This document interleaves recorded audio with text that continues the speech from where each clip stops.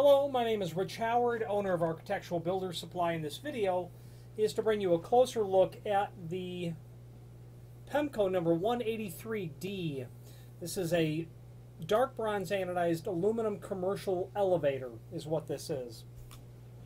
This is a riser or an elevator it's called and it is simply intended to build off of the surface a threshold to account for an unusual condition that you might have.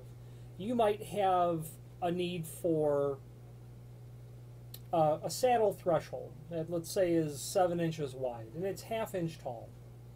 You might have uh, some sort of quarter inch flooring or uh, well, you know, three eighths flooring or some sort of condition on the inside. That when the threshold runs to the exterior, uh, rather than tipping it like this, you would you would use an elevator or a riser like this on the exterior side so that you can transition between those two uneven floor surfaces and do so by keeping your threshold level. Okay, that may not be a great example, especially if you're dealing with handicap compliance, but that is the sort of situation that you would encounter.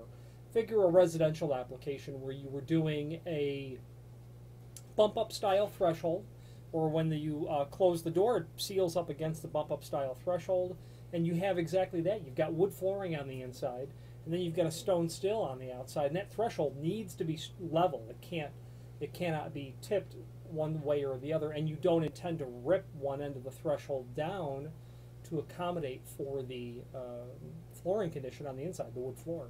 Anyway, why ever you might need to build this off, uh, is great, but those are instances where it's used. This is a quarter inch riser, and that's going to give you a quarter inch lift. Okay. Overall height of the item with the lip, and that lip you can see in the image below this video.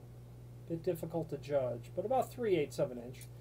Overall width of the item, about 7 sixteenths. And the portion that's going to be, you know, your threshold's going to butt right to here. So you're not going to have very much projecting past the threshold. Might be about an eighth of an inch at the very most. Uh, there's obviously no screws, nothing like that that's included in an application like this. This happens to be a four foot length, and it's just an aluminum extrusion uh, with a dark bronze anodized finish. That's the D in the part number. Also available in A for mill aluminum finish, and then G, which is gold anodized finish as well. A fairly easy thing to cut, if you have need for a custom length, by all means let us know by ordering the next longest piece or pieces and indicate in the comment field what length you'd like for us to cut the material back to. Uh, again, not a super difficult thing to trim, but you might be in a position where cutting a piece like this down in the field is, is not possible. By all means, order the next longest piece, indicate in the comment field what length you'd like for us to cut the material back to, and we'd be happy to do that. The name Pemko is synonymous with all things weather stripping related uh, in both commercial and residential sorts of applications. There is a link below this video to the manufacturer's page where you can pull up their full line catalog and review everything uh, that is Pemko.